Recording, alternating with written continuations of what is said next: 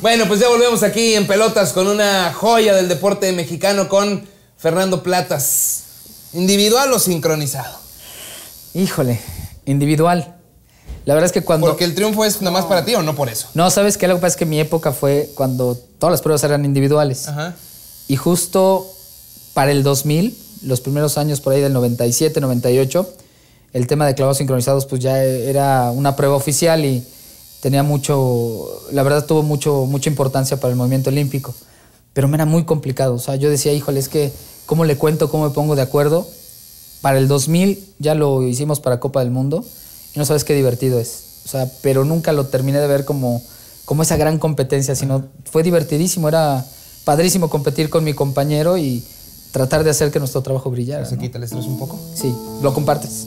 Cuando estás allá arriba, Fernando, en las Olimpiadas, ¿le rezas a alguien? ¿O, o cuando vas por las escaleras? ¿O cuando te estás secando? ¿O cuando están dando la primera calificación y van a echar muchos, muchos clavados?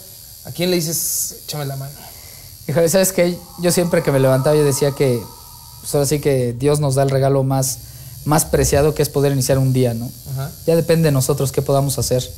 Entonces, cuando yo llegaba a la alberca, literalmente yo disfrutaba lo que estaba haciendo. Había mucho estrés, claro. La mano te tiembla, el corazón sientes que se te sale.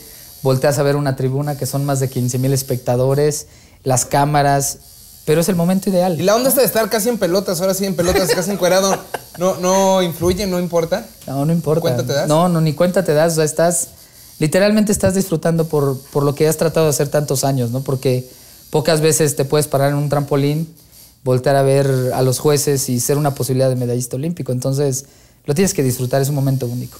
Bueno, y de repente se escucha una voz de hombre o de mujer que dice México en diferentes países. Y arre, ahí va, Fernando Platas delante con, con la bandera. Eh, la medalla olímpica es padrísimo, es un momento como que muy, muy competitivo, pero el, el entrar al estadio con la bandera, este, de por sí me cuesta trabajo eh, sonreír, no podía parar, o sea, sí, no, no podía parar, o sea, es una alegría que de- literalmente la estás viviendo con toda la delegación. ¿Qué sientes ahorita que te lo recordamos? Ah, vuelven a sudar las manos. Recuerdas literalmente qué se siente caminar hasta adelante de la delegación, ver todas las, las cámaras, la gente, y vueltas a ver la pantalla esta enorme del estadio y está tu cara con tu nombre, abajo dice México.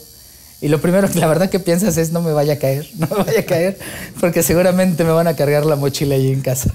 Y hay muchos lugares, bueno, esto fue en dos ocasiones, pero ha habido varias Olimpiadas donde ha competido Fernando Platas. ¿En qué, en cuál de estos países, a los muchos que has ido en Juegos Olímpicos, te quedarías a vivir? Híjole. Primero no cambiaría México, la verdad. Se me hace complicado pensar estar en otro país. Australia significó, obviamente personalmente, significó mucho para, para mí y aparte para el deporte, el deporte nacional de Australia es la natación. Claro. Entonces el trato a los clavadistas, al tema de la natación era impresionante. Barcelona fue unos Juegos Olímpicos que disfruté muchísimo. No disfruté la parte de competencia, me costó trabajo mis primeros Juegos Olímpicos, pero la ciudad, el movimiento olímpico fue, fue una maravilla, ¿no? Pero definitivamente como México no hay dos, y no es, no es choro, ¿no? Oye, Fernando, ¿qué duele más? ¿Perder, perder una medalla o perder la candidatura? Darte un panzazo. Darte un panzazo. Sí. O sea, la política no te importa tanto. Por, Mira- por la respuesta, digo, porque. No, ¿sabes qué? Lo que pasa es que yo creo que cuando eres un atleta aprendes a ganar y a perder. Ajá. Y entonces el tema de... Pues deberíamos de mandar a todos los políticos primero que aprendan un poquito de eso, ¿no? Porque aparte aprendes a competir con amigos. Porque con los compañeros que estás compitiendo para un selectivo es tu cuate de toda la vida. Al ruso que conociste desde el 89, la misma generación de chinos, compites con tus amigos, ¿no? Y yo creo que una persona que aprende a digerir cuando, cuando tiene un fallo, simplemente se está superando a sí mismo, ¿no? Y la verdad, es más penoso caer de panza y quisieras que se hiciera una puerta abajo de la alberca para salir por ahí, ¿no? ¿Está viciada la política? ¿No te gustó? Digo, estabas metido un poquito, no como estabas metido en el agua. ¿Te gustó no te gustó? Me gustó, me gustó, pero por, por el servicio público. Me gustó porque el tema de cultura física, se- sigo insistiendo que es una ¿Qué herramienta dirías para de que, vida. te cre- para que creyéramos eso? O sea, para que le creamos a Fernando Platas, yo te creo, ¿no? Pero todo el mundo que dice, yo por mi país, yo por esto, pues, ya no les crees. Tristemente ya no le crees a nadie. ¿Por Claro. qué sí te debemos de creer a ti? Mira, yo creo que yo tengo mi visión personal y sé que lo que a mí me ha enseñado la vida me ha funcionado. Y yo sobre todo creo que el tema que tenemos que buscar es calidad de vida, ¿no? Más allá de, todas estas cosas, como tú dices, que ya están desgastadas, a veces que las cosas básicas, las cosas de educación, la cosa de un tema de cultura, se nos olvida. Y creo que ahí, se- ahí es la, la esencia de poder cambiar las cosas y hacer las cosas bien. ¿no? Perfecto. Bueno, pues este gran tipo que tengo aquí en pelotas volverá después de la pausa.